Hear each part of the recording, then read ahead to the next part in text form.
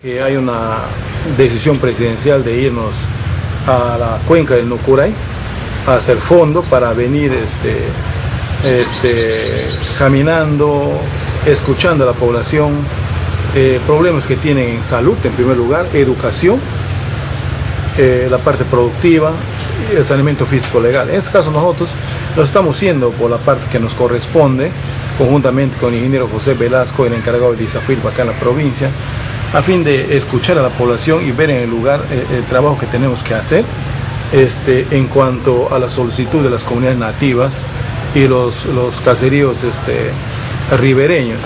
Entonces, por lo tanto, vamos a estar presentes en, esta comisión que va desde el día sábado 19. Estamos partiendo a las 6 de la mañana, conjuntamente con el gerente subregional y los directores de las otras instituciones, para hacer un trabajo de forma conjunta.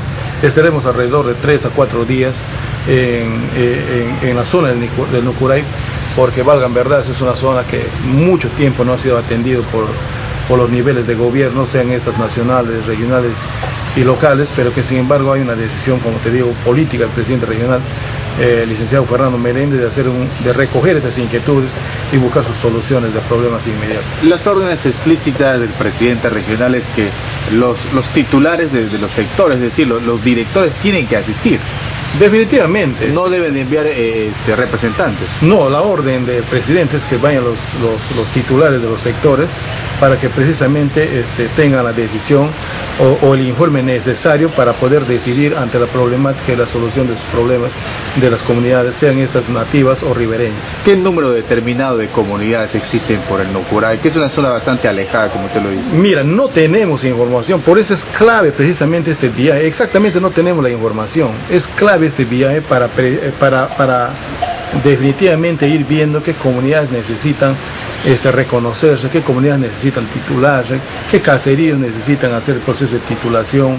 Entonces, todo eso estamos haciendo por nuestra parte. E igual me imagino en la parte de salud y educación y otras instituciones que se suman a este proceso. Esta zona del Nucurá está poblado por eh, hermanos candoches, ¿no? Sí, hay hermanos condoches, también hay un sector de hermanos cocama cocamillas y por lo tanto vamos a estar ahí presentes, escuchándoles, este, viendo de qué forma solucionemos este, su problemática este, de acuerdo a nuestras posibilidades y eso es la intención de este viaje, amigo. ¿Cuál es la comunidad referente que existe en el Nucuray, ingeniero, donde va a ser el punto de concentración de la delegación que, parte? Mira, no estamos siendo la comunidad de Huancayo, a Huancayo estamos siendo donde nos vamos a concentrar, estamos viendo que se concentra la mayor cantidad de comunidades nativas y escucharles ahí para posteriormente eh, hacer un trabajo eh, de solución a sus problemas. Yo estoy muy seguro que ahí hay problemas inmediatos de, salud, con enfermedades tropicales, igual de